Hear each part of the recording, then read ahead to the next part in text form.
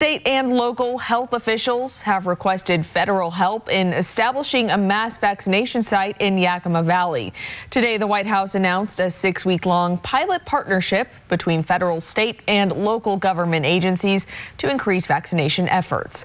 KAPP KVEW's Emily Goodell spoke with federal officials about how that partnership will work and what it means for the community.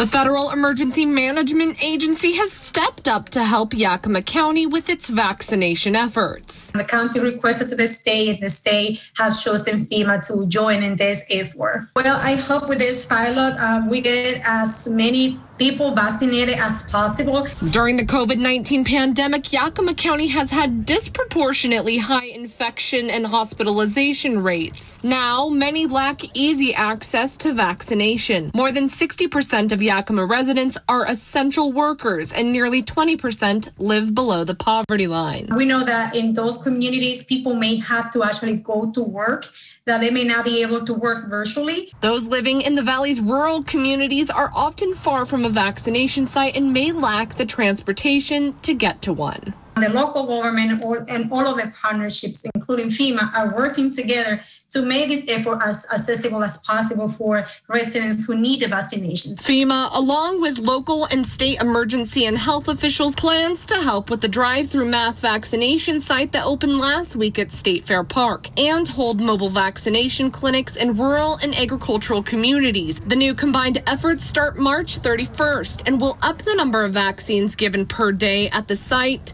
from 200 to about 1,200, including the mobile vaccination units. The vaccines will come directly from the federal government and will not affect the state or county's regular shipments. We want everybody to be vaccinated, so we're trying to make and push this effort as, as much as possible so everybody can get a shot that they need. In Yakima County, Emily Goodell, KAPP KVEW, local news.